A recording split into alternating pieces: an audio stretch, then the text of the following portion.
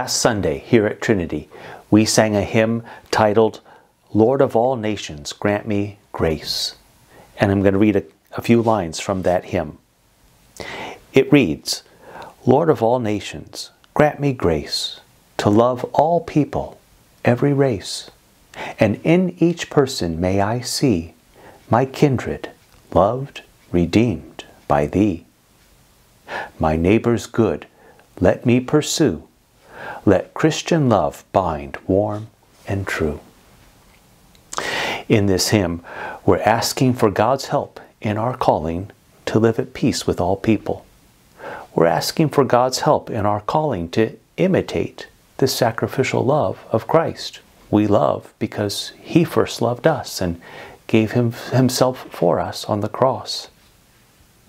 We're asking for God's help in putting into practice what Moses wrote in Leviticus chapter 19 love your neighbor as yourself. And what Paul wrote in Romans chapter 12 as much as it depends on you, live at peace with all. As the 4th of July fireworks and celebrations fall silent for another year, putting this hymn and its teachings into practice is one of the best things that you can do to continue bringing healing and unity to our nation. Let us pray.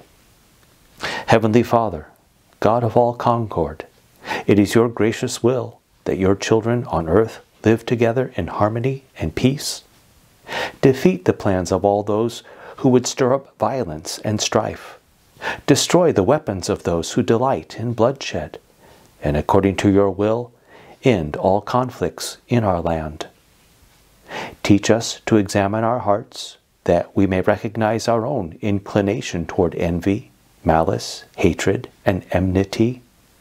Help us by your word and spirit to search our hearts and to root out the evil that would lead to strife and discord, so that in our lives we may be at peace with all people.